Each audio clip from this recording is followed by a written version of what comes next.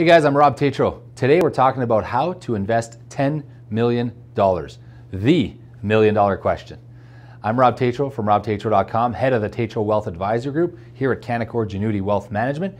If you want to talk about this specific question or anything else in your portfolio, please go to www.speaktorob.com. I'd love to book a no obligation consultation with you to chat about this or anything else. All right, so you've got the $10 million. Either you've, you've sold the business, congratulations, good for you. Maybe you've got an inheritance, maybe you won the lottery, or maybe you've just built up your wealth, you're a good saver and you got the $10 million. Congrats, now you got this wealth and you're not sure exactly how to invest it. So the thing that has changed kind of dramatically over the last 10 or 20 years is the asset allocation of the ultra high net worth. So $10 million, I would kind of consider that ultra high net worth. Um, it's a, it's a large account. Most of that is probably non-registered or either in your corporation or non-registered assets.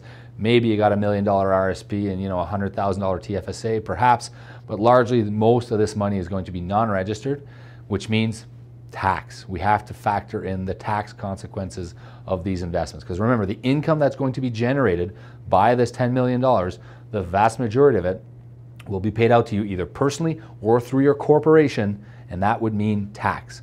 So remember, there's three different ways that people are being taxed. Either interest income, that simply gets added onto your income, and that basically means if you've got a $10 million account, you're probably top tax bracket, so you're losing about half of that income, roughly, depending on which province you're in, but call it roughly half of that income to tax. You can get a dividend income. So if you own Canadian eligible dividend paying companies, the tax rate gets reduced, it gets grossed up, and then you get a tax credit for your dividends. But the absolute best one would be to get either return of capital or capital gains, a deferred capital gains. Those are the best. The cap gains are taxed at about half, and the return of capital is not taxed at all in the year you get it. It's fantastic. So, how do you get those? Well, you have to focus on alternative asset classes. The asset allocation for the ultra high net worth has changed dramatically. It used to be kind of a balanced portfolio where you'd see someone owning 60% of their portfolio in stocks, large cap Canadian US equities, and another 40% or so in traditional fixed income, bonds, you know, debt, debentures, maybe preferred shares if you're, if you're considering that as fixed income.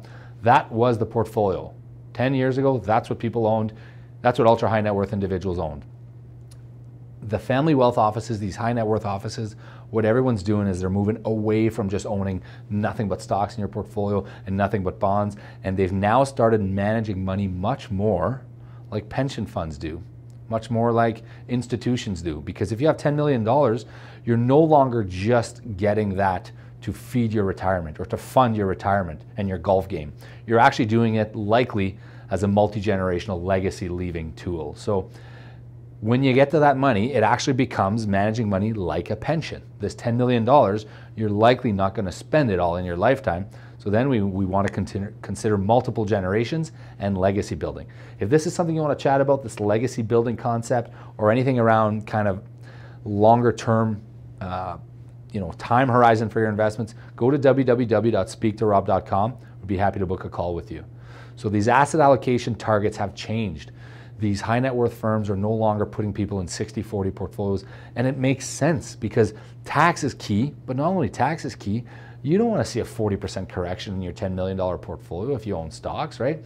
You don't want to see your 10 million bucks go down to 6 million bucks. That's not what people want to see. They want to see consistent growth, uncorrelated to the markets or, or reduced correlation to the markets, tax efficient income, and just stable, consistent growth because they want the money to likely be there. You likely want your $10 million to be there for your kids and to be there for your kids' kids.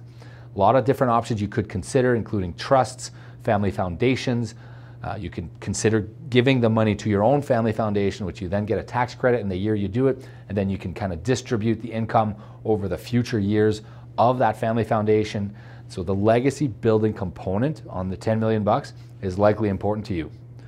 All right, so now you own perhaps 30% alternatives or 40% alternatives or maybe even 50% alternatives in your $10 million. So now you got half of your portfolio diversified real estate across North America or across the world. Maybe you got some in Seattle, some in Dallas, some in Toronto, some in the prairies. Your, your portfolio of diversified real estate is truly a diversified portfolio. Maybe you have some multifamily, some commercial, some retail, some industrial, and you actually own these buildings.